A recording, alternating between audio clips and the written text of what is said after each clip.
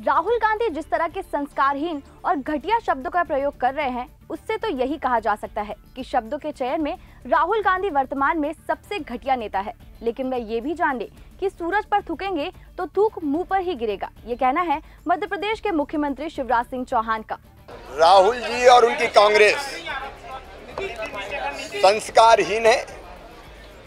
घटिया भाषा का उपयोग करना, घटिया शब्दों का प्रयोग करना भारत के संसदीय लोकतंत्र के इतिहास में सबसे घटिया कोई राजनेता शब्दों के चयन में, भाषा में और सामान्य शिष्टाचार को भूलने वाला अगर कोई है तो वो राहुल गांधी हैं।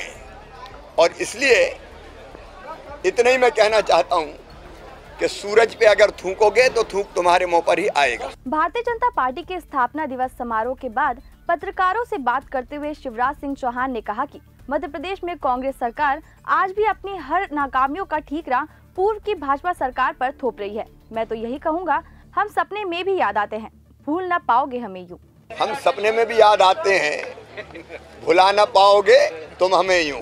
भाजपा की वरिष्ठ नेता सुमित्रा महाजन के पत्र लिखकर चुनाव से अलग होने के सवाल पर शिवराज बोले, ताई हमेशा हमारी नेता हैं और रहेंगी। वह हज़ारों कार्यकर्ताओं की प्रेरणा भी हैं।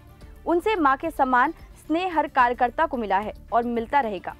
ताई को हम भारतीय जनता पार्टी की महान नेता मानते हैं। ताई हम जैसे हज़ारों कार्यकर्ताओं की प्रेरणा की स्रोत रही है। ताई मेरे लिए भी माँ के समान है और हमेशा हम कार्यकर्ताओं को बेटे जैसा उन्होंने स्नेह किया है। उन्होंने जो योगदान इंदौर के विकास के लिए दिया, भारतीय जनता पार्टी को प्रदेश में स्थापित करने के लिए दिया, वो अविस्मरणीय है।